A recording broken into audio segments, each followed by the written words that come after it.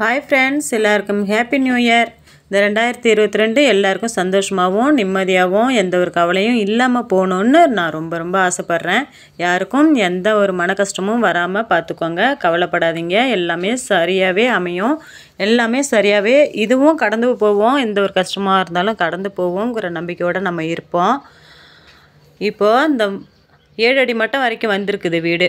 அதில் நான் தண்ணி ஊற்றவே இல்லை. தண்ணி ரெண்டு நாள் தான் ஊற்றினா அதுக்கப்புறம் மழை பெஞ்சதில் நல்லா சூப்பராக செட் ஆகிடுச்சி மழை பெஞ்சதுக்கு அப் மழை நின்னதுக்கு அப்புறமா லா பெல்ட்டை போட்டு வேலையை ஆரம்பிக்க வேண்டியது தான் ஓகே இது மழை முடியட்டும். சீக்கிரமாக இந்த வருஷத்துக்குள்ளே வீடு குடி போயிடணும்னு ரொம்ப ரொம்ப ஆசைப்பட்றேன். ஓகே பாய் எல்லாருக்கும்.